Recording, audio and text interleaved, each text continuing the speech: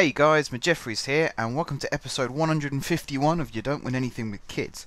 Uh, and before we get into the match, I have some good news. If I go onto the screen here, see the little P? We've won promotion. I'm not sure how many games are left, but we're 13 points clear at the moment. So we've pretty much sewn up promotion. We've finished in the top two. Crewe have guaranteed their playoff spot, uh, which they may not need still if they finish second. Because what we want to do now is pip Crewe to first place. We've got to make it, well, you know how it works. We've got to make the gap big enough so they can't catch us, basically. Um, so that's one celebration. The second celebration could be in this episode because we are playing Shrewsbury in the Johnstone's Paint Trophy final, fi final at Wembley. Um, and the reason I, I'm fairly confident about this one, I'm more confident about this final than I was in last season's final because this time round we are the League One team and we are playing against the League Two team in Shrewsbury. So let's do this. It looks like we're in wearing the ugly kit today, which I'm not a big fan of, but we'll see. We'll see. Okay, Quintaka is injured, so in comes King in goal. Um, who else? Cartwright is injured, Beckhold is injured, and Klopmus is injured, and we can't have seven subs. so let's replace Cartwright first. Um, let's replace him with Hughes. Because he is a centre back at heart, so let's do that. Uh, let's take McConnor out as well, actually, looking at that. Where is he? There he is. Okay, so centre midfield alongside Mantum. Let's put in Delamond. On the left-hand side of midfield, let's put in... Um, well, we had Marshall out there, actually, and he wasn't doing such a bad job, so let's keep him out there.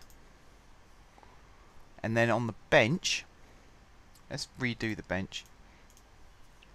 Uh, we will have Webster. We will have Grant. We need a centre midfielder and a striker. Well, I think Bobo is fit. Yep, Bobo. So we'll put Bobo out there. And let's put Francois, because he's come back from injury. He's been out for six weeks with an injury. So uh, let's give him a shot.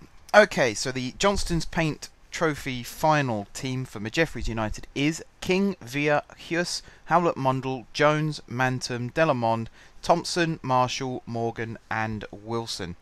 And uh, by the by, Wilson has become our highest scorer in a single season. He scored 26 goals this season. Um, at least that's how many he had when he broke the record. Previous record was 25, held by Adam Campbell. So Wilson is our best striker at the moment. And let's see if he can shine in today's match as well. Looking forward to this. This could be fun. This could be a lot of fun. Still struggling to keep clean sheets.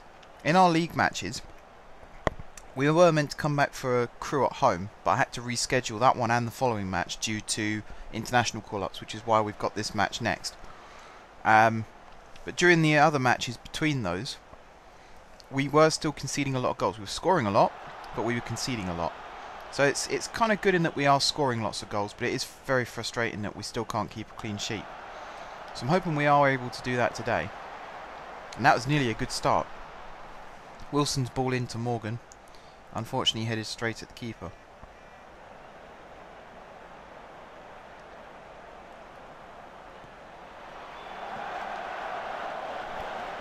Uh, that's cleared into the stand. It says clears off the line. I wasn't actually watching, in all honesty, so uh, let's just assume that yes, it was cleared off the line. Right, we are coming up to 20 minutes in. Possession-wise, we're actually behind, but we've had more shots and more shots on target, in that we've had two and one. Shrewsbury with the corner. King picks it up. I have altered set pieces as well, by the way. Um, I've brought more players back for when we're taking corners and free kicks, and um, I've put more players forward from when we're defending corners and free kicks, and that I've put both strikers forward rather than just one. Hopefully that means that when we do have the chance to counter-attack, we won't have to hold the ball up as much because there'll always be a second player up there supporting. Excuse me. Choked on something then.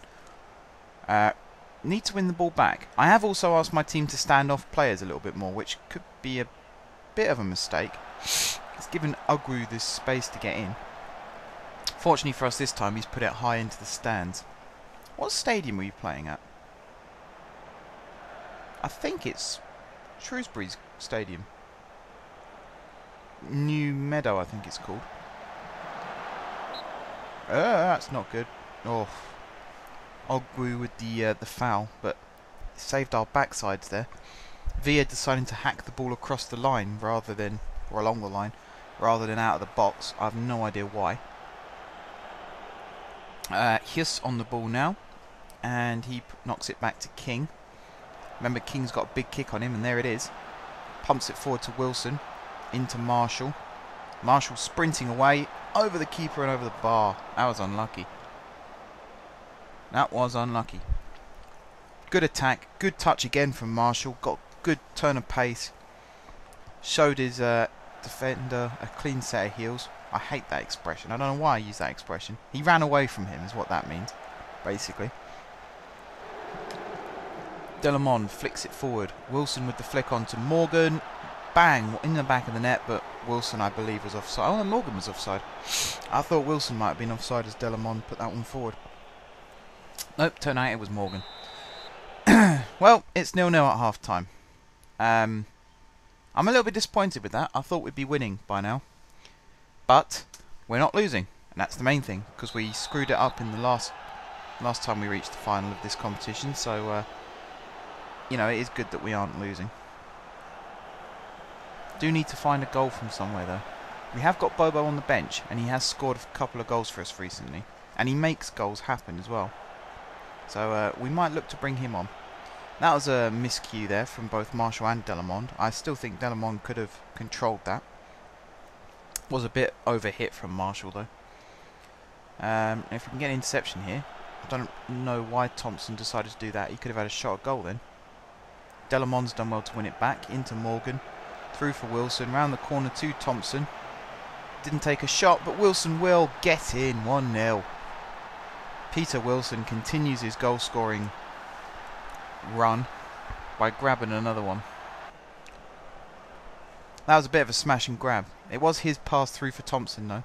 Good tackle by the defenders, but unfortunately for them, very, very fortunate for us, it came through for Wilson and he buried it in the back of the net. Did well there. Now Marshall with the, the layoff to Delamond. He's got two forward.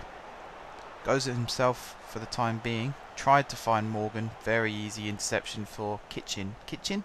I think I said Kitchen. Unusual name, but a nice one. Quirky. Right, Wolford on the ball. Villa closes him down well, but then gives him it back. Matthews on the ball to Stead. Jones trying to get it off him. Back for Matthews. There's a lot of space for Shrewsbury in the middle at the moment. Needs to try and close that door. Ball comes in. Ogru's header. Ah, he scored. It's Ogru, sorry, not Ogwu. It's a couple of times I've made that mistake regardless of how you pronounce his name, he has just scored against us. Same old trick. Needed to cut out the cross. We had three men behind the uh, the striker and none in front, so he had an easy head on target, and just didn't do enough there to try and close that one down. Not very good. Not very good at all. Not very good. Well, we have chances to get back in the lead. Long throw from Villa to Delamond, who turns and passes it backwards for some strange reason. Howlett Mundle into Jones. Jones has the chance to cross and does to the far post. Thompson couldn't get over the ball. Time for a sub, I feel. We don't actually have any centre midfielders on the bench. Um, so I'm going to bring, yeah, I'm going to bring Grant on for Delamond, and then I'm going to swap Grant with Thompson. So Thompson will now play in midfield sort those two over as well. Thompson will play centre midfield and Grant will play down that right hand side. And the reason bringing Thompson in isn't such a bad idea, he has got a very good long shot on him. If you remember from a few episodes during last season and a couple of episodes the season before.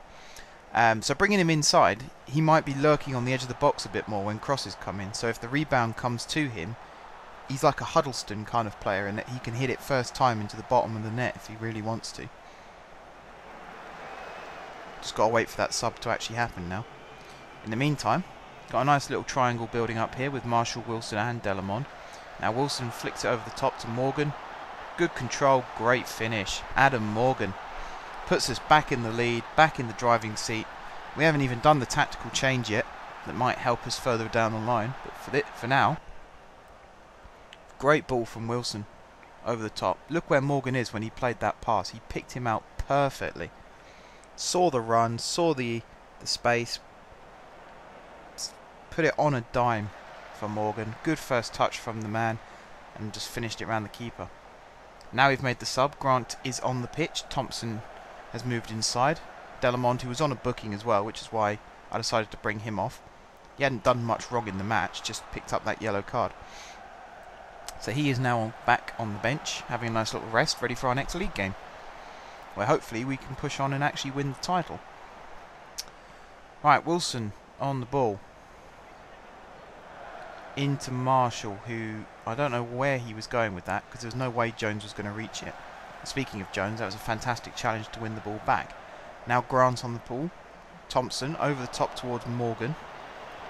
He didn't get a touch, but it comes out to Villa. Morgan with the flick down to Grant. First shot blocked. Couldn't pick it up a second time. Wolford, who set up their goal, brought down by Grant, and that is a free kick to Shrewsbury. Got half an hour left in this game. 2 1 up. Stats wise, we're still behind on possession.